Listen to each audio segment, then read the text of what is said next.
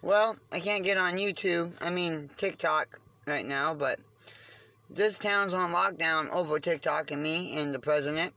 And the thing is, everybody got some money on the phones. You push that button, the money gets taken away until I get my money to get me out of town. That's the that's the point of it all.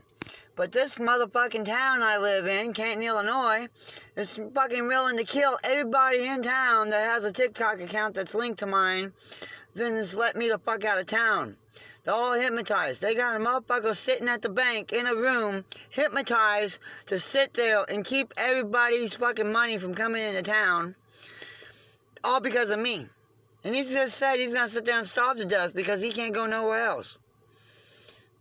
They got people locked up, people in captivity, can't get no money in town because of fucking the banks and shit. Fucking goddamn black web shit all over town. You know, red room, bug box, all this shit going around me. Taken. Fucking the Timothy Peterson case, the TJ case, TJ Peterson case. Fucking, it's fucking all happening around me. There's a cop in Anaheim that fucking signed the shit. And you know what? When this shit does break, this is gonna be the biggest fucking thing in the fucking country. The biggest fucking thing in the country. There ain't no fucking stopping it.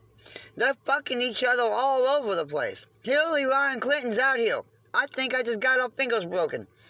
Because she wants to take my weed and shit from me. Yeah, because she gave me something that she shouldn't have gave me. But anyway, she gave it to me, and it was mine anyway. So it wasn't even her shit to give to me. It was my shit in the post fucking place. This is all fucked up.